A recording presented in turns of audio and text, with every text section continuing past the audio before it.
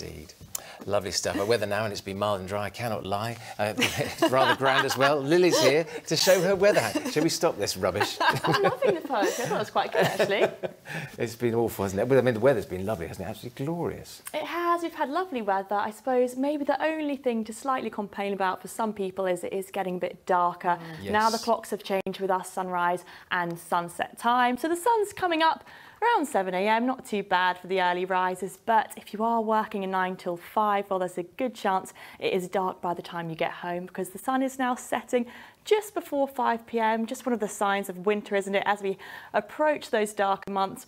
But if you think that's bad, we'll spare a thought for the people of Svalbard near to Norway. For them, the sun set on Saturday and it's not going to rise again until the 15th of February next year, meaning 113 days without sunlight. So that really is a long and dark winter for them. For us, we can't complain too much, really, can we, with that? Know, I, I, always talk, think about the people of Svalbard about this time of the year. I think it's poor old people. Eh? But back in Jersey and, mm. and our slightly shorter, darker evenings, it's actually quite fitting for Halloween, isn't it? How's, that, how's the weather shaping up for that?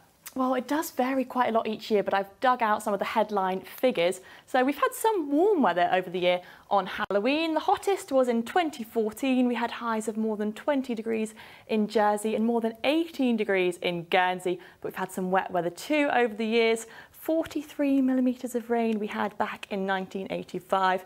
And of course, last year, Storm Ciarán, that fell just a few days after Halloween. But over the years also, there have been some stormy conditions on the day itself. So this is based on historical records and diary entries. But in 1823, there was a prolonged and violent storm. Several ships wrecked. There were a number of remarkable rescues that took place and debris was seen floating out to sea for the weeks after that.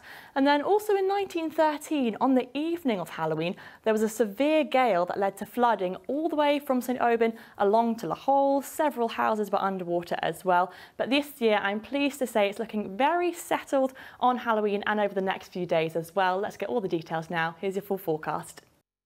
Well, it has been mild today. We've had highs of more than 17 degrees. Fairly cloudy to begin, but that cloud breaking up throughout the day. So some lovely conditions to get outside or even on a dog walk. And in terms of what's to come over the next few days, well, the settled theme is continuing. It's going to be generally dry with light winds, variable amounts of cloud, but we should get some bright and sunny spells here and there. Notice though temperatures might feel a touch cooler compared to the mild weather we've had today as we head into the weekend with a moderate breeze as well.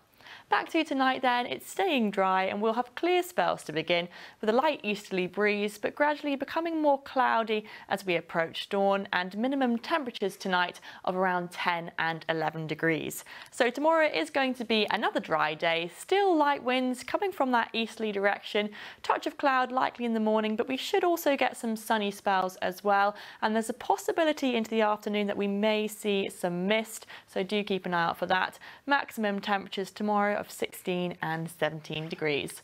Let's get our tide times now. Tomorrow between 5.30 and 6.30 in the morning, later on from around 6pm to 6.30 and the sea temperature is at 15.7 degrees.